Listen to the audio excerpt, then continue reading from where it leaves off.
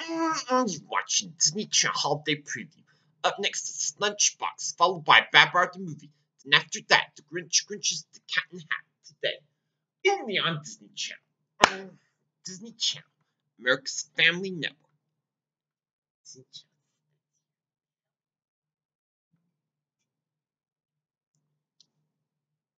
Oh, oh, oh, oh, oh, oh, oh, oh, oh. Oh, oh, oh, oh, oh, wait, wow.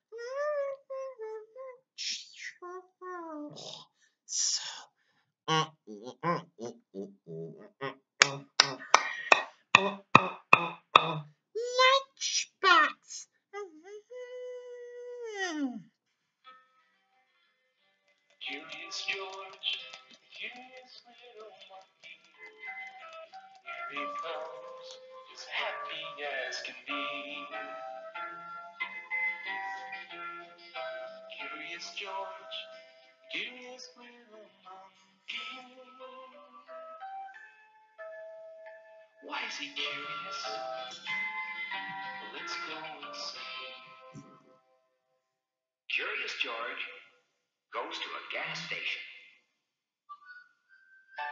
It was vacation time. George was busy packing. We're going on a trip in the car, George, said the man with the yellow hat. We'll stop at the gas station for a map. That will help us find our way. The gas station was at the top of the hill. George got out and watched what the people at the station were doing. A woman was pouring water into the radiator of her big station wagon. Help keep the engine cool on a long, hot trip, she said to George. In the garage, a little red car was high up in the air on a lift. The gas station owner was standing under it. He smiled at George and said, I'm changing the oil so the car will run smoothly. A man and a woman were trying to hitch a camper to the back of their car. Let's hurry, said the man. We're already late. I know we're late, said the woman, but it's safer not to hurry. I'm going to get the map from the gas station owner, said the man with the yellow hat. You hop back in the car, George. Wait there for me and don't get into trouble. George got behind the steering wheel. It was fun to turn the wheel and pretend to drive the car. There were all kinds of knobs and buttons and switches on the dashboard in front of him. And next to the steering wheel was a large black handle with a red tip. What was it? George was curious. It was the handbrake. He pushed it down and suddenly the car started to roll down the hill. It was fun to feel the car moving, but before too long, the car was going too fast. George was scared.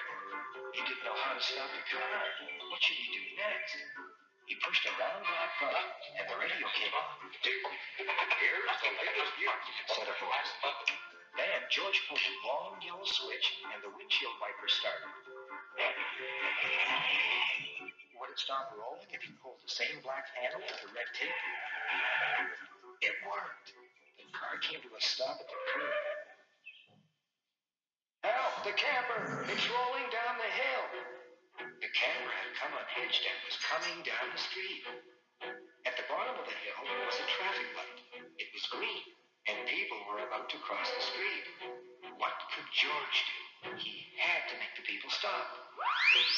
Quickly, he climbed the nearest telephone pole. Then he jumped across the telephone wires to the middle of the intersection where the traffic light was hanging.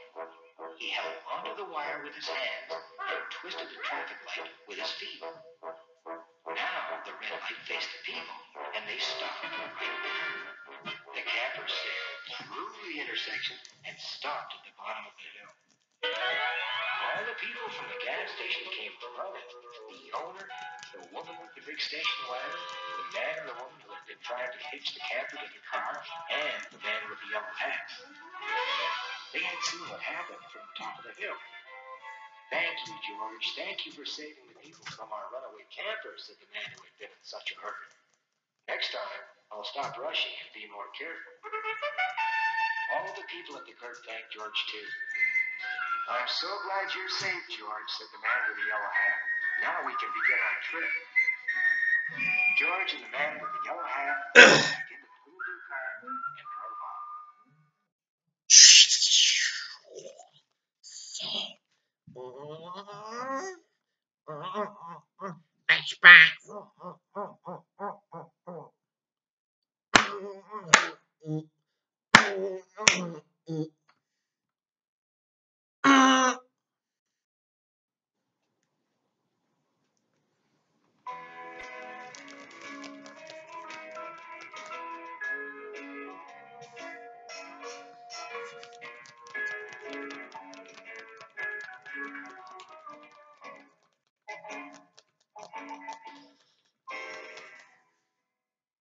Ladies and gentlemen, announced Paddington, my next trick is impossible.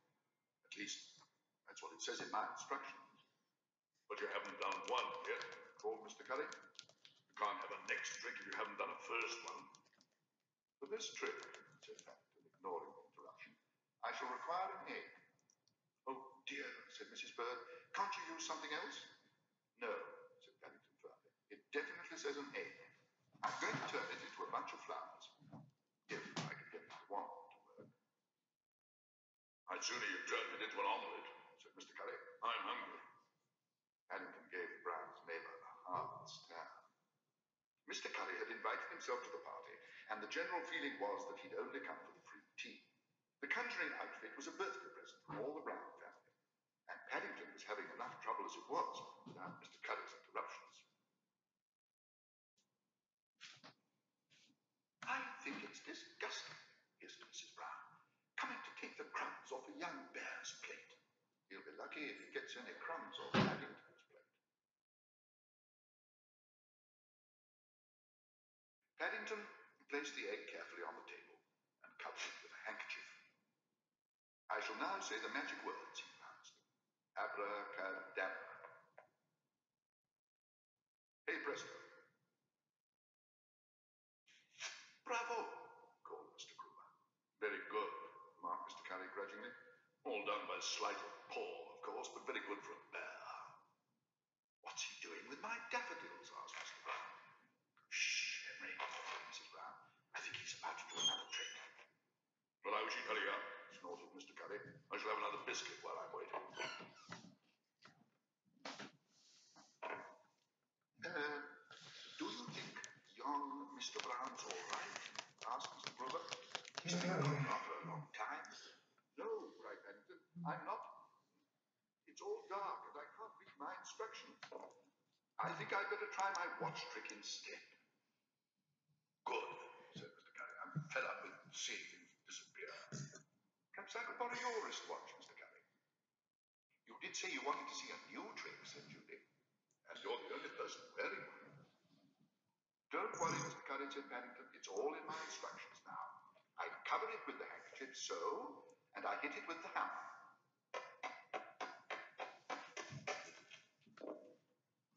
Oh, oh dear. Oh dear. What do you mean, oh dear? What's gone wrong, bear? Paddington consulted his instructions.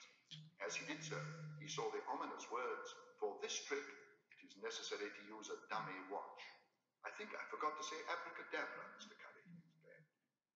Abracadabra. I'll give you abracadabra. That was a very valuable watch. Twenty jewels. Shockproof. Doesn't look very shockproof to me, said Mr. Brown. And it's certainly not that valuable, said Mr. Gruber. I remember selling it to you five years ago, and you didn't pay much for it then. I think I found one of the jewels, Mr. Curry, cried Paddington excitedly. One of the jewels, bellowed Mr. Curry. What about the other nineteen? I've never been so insulted in my life. What's this? I'm sitting on something sticking. Oh dear. That's my disappearing egg, Mr. Curry. It must reappear. Perhaps, said Mr. Gruber, you ought to disappear for a while, Mr. Brown. While you're gone, I'll get Mr. Curry another watch. I've a whole box full in my shop. Thank you very much, Mr. Gruber. That sounds a very good idea. I don't think I shall reappear again for a long time.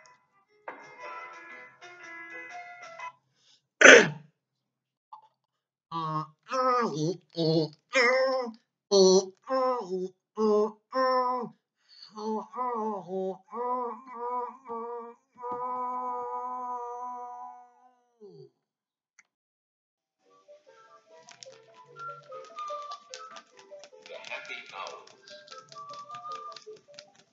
legend that is also true.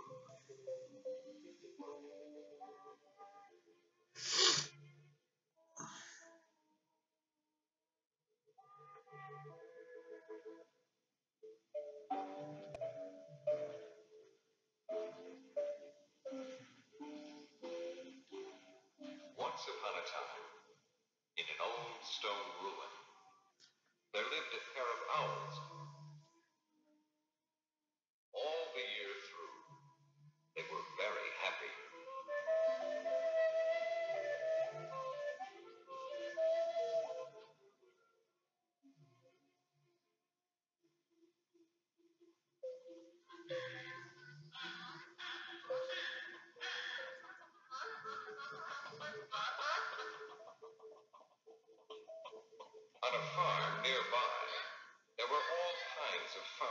Did nothing all day but eat and drink and fight with one another. They could never think of anything better to do.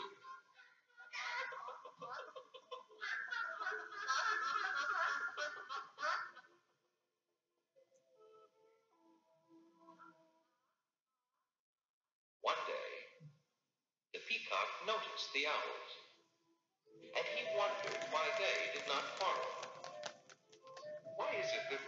so happy? he said. The rooster suggested, Why don't you visit the owls? Ask them how they can live together so peacefully. The peacock said, Very well, I shall.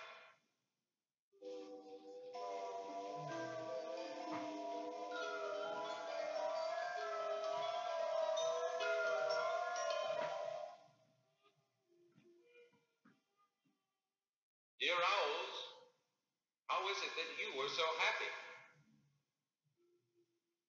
Well, Mr. Peacock, we will tell you, but first go and fetch all your friends.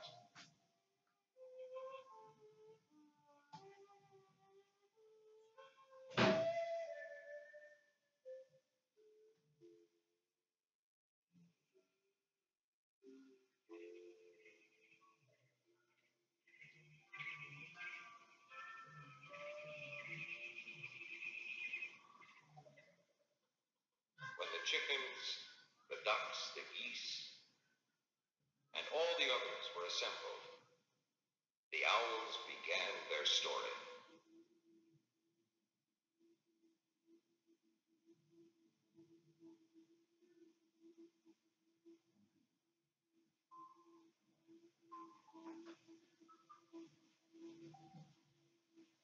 When spring comes, we are happy to see everything come to life after the long winter sleep. The trees put forth their buds and leaves. The meadows are covered with thousands of tiny flowers, and birds everywhere are singing merrily.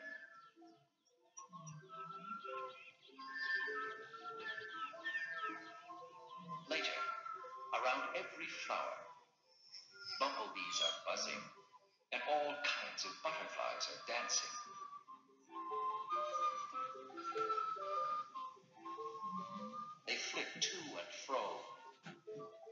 Gathering honey from the golden sunflowers.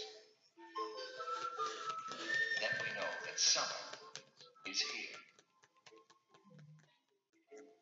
And when everything is green and growing, and the trees nod their leafy crowns to us in the warm sunshine, we sit in a shady nook in the cool forest and are at peace with the world.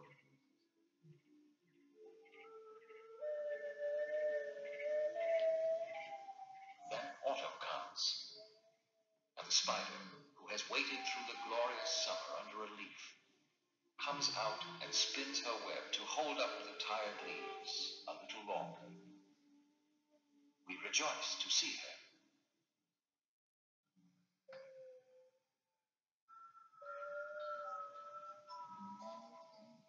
And finally, when all the leaves are fallen and the earth is covered with snow, we come back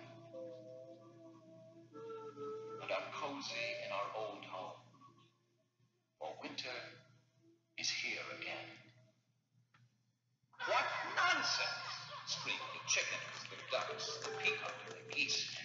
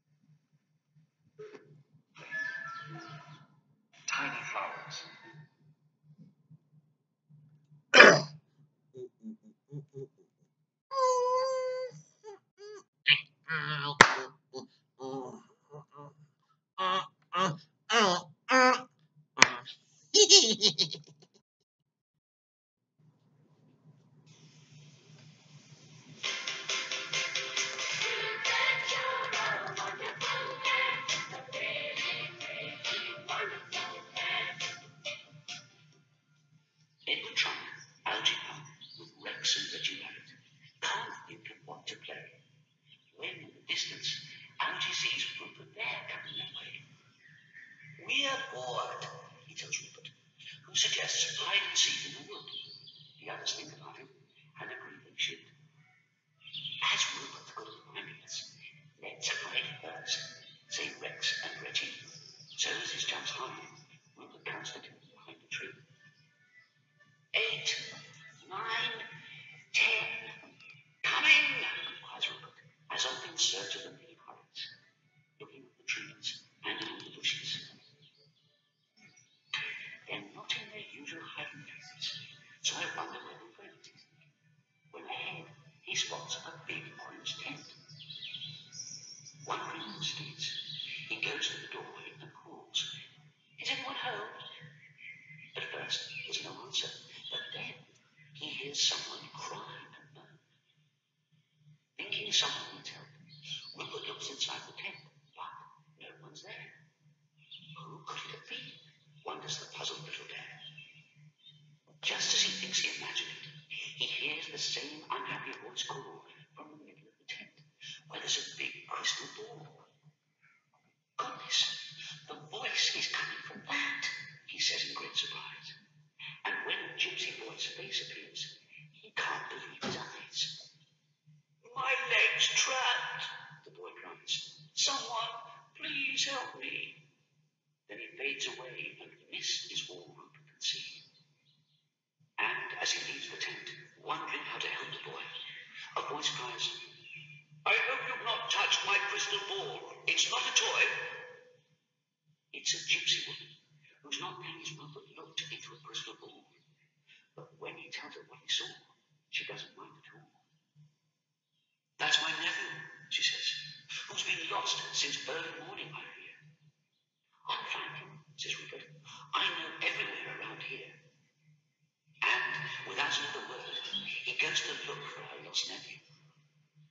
In the cave, he finds some footprints and follows them through to a rocky ledge where someone crying in can be heard quite clear. That's the gypsy boy, thinks Rupert. He's very near. Sure enough, it is the gypsy boy who's pleased to see them again. And Rupert feeds the boy's leg with the greatest care. Then, using all his strength, he gets him to the top of the ledge. Thank you for rescuing me, says the boy. You've shown carriage. I never thought anyone would find me, and I didn't like being alone. And he leans on the bed as they make their way back to his home. The gypsy woman's delighted to see her young nephew's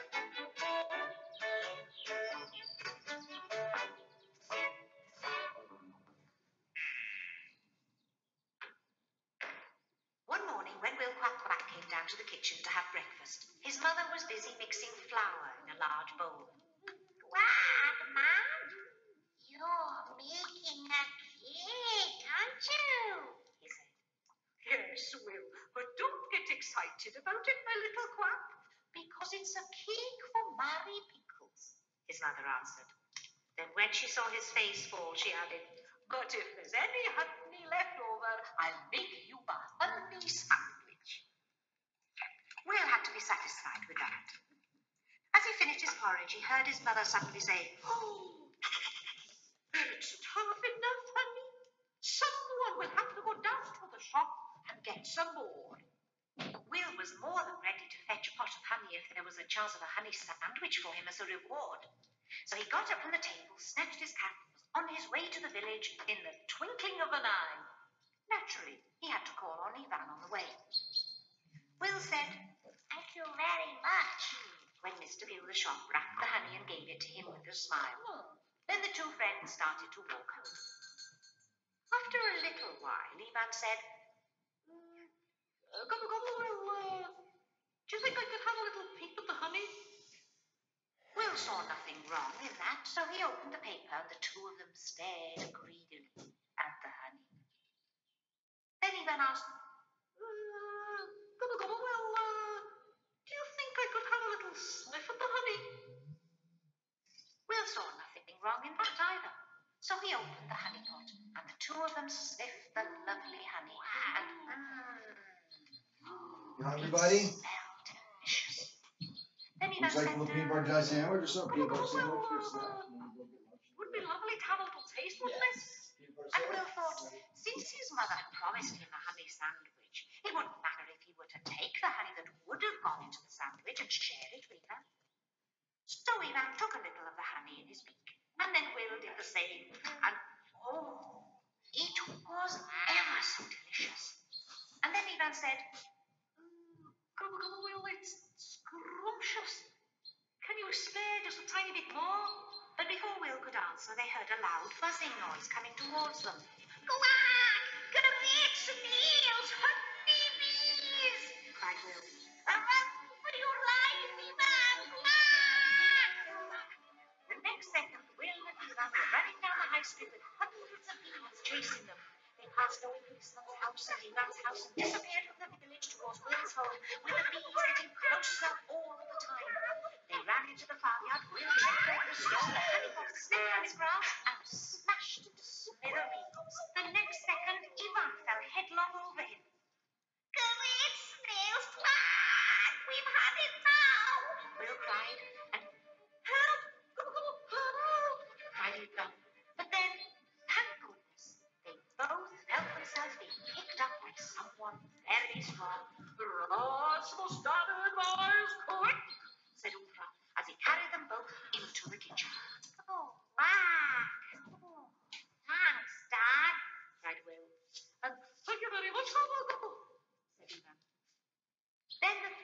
stood by the window and looked out at the honeybees eating the honey. Mary Pickles didn't have her cake that afternoon after all, and Will didn't get his sandwich either. But still, we don't always get what we want,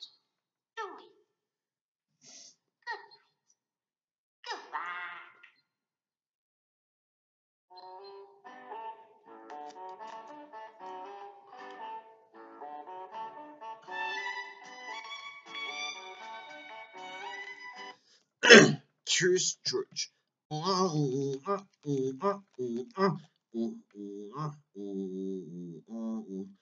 The Happy Hours. A West Woods release. A West Woods release. 1989. West Downwards Stu West Downwood Studios. All rights reserved. Rupert. Anime Express newspapers, 1989.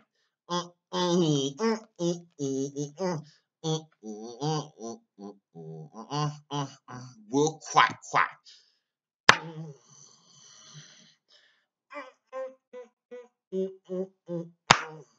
1983. S4C, Mike Young. Nineteen